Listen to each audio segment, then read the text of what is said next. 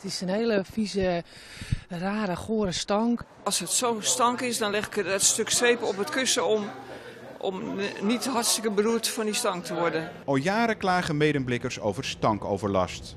Boosdoener in hun ogen is afvalbedrijf HVC in Middenmeer een paar kilometer verderop. Het bedrijf ontkende altijd tot vorige maand. Uit onderzoek blijkt de oorzaak deze biobedden te zijn, waar de lucht van groente, fruit en tuinafval wordt gereinigd. Deze biobedden die bevatten bacteriën en die bacteriën moeten de lucht reinigen.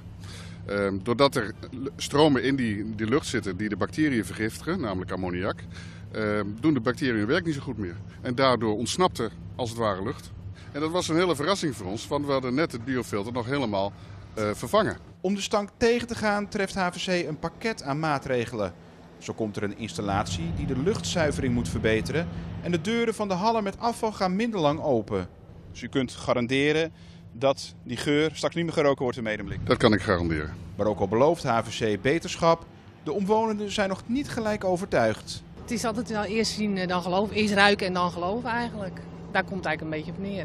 Dus ja, dat, dat, het moet eerst gebeuren en dan pas kan ik er iets over zeggen. Ik hoop het, natuurlijk. Ze zeggen, we garanderen dat het hiermee voorbij is met de ma maatregelen die we gaan nemen. Ja, ik heb ook wel eens een fiets gekocht eh, waarbij ze een heleboel garantie gaven. En wat bleek achteraf niet zo te zijn. Dus laat ik het zo zeggen, ik heb eh, wel het gevoel dat ze er heel serieus mee bezig zijn.